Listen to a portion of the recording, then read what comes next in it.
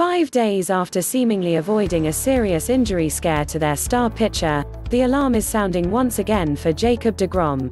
DeGrom left Wednesday's start against the Cubs after throwing three perfect innings and 51 pitches. He exited his June 11th start against the Padres after striking out 10 batters on 80 pitches in six innings with right flexor tendonitis. DeGrom struck out eight of the nine hitters he faced on Wednesday.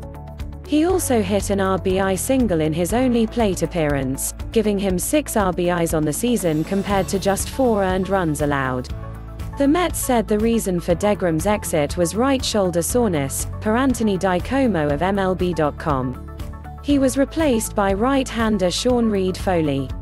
For the night, DeGrom threw 11 pitches that clocked in at least 100 miles per hour, according to StatCast data, including one in the third inning.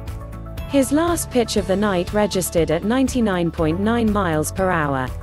On the season, DeGrom has a 0.54 ERA in 67 innings, striking out 111 out of 232 batters faced, 47.8%. He's 31 to 21 with a 1.91 ERA in 87 starts since the beginning of the 2018 season. More MLB coverage. Trevor Bauer on MLB's foreign substance policy. It's a Mess Baccellieri, MLB's pitch doctoring crackdown presents new problems Apstein. Mets finding ways to keep winning amidst chaos.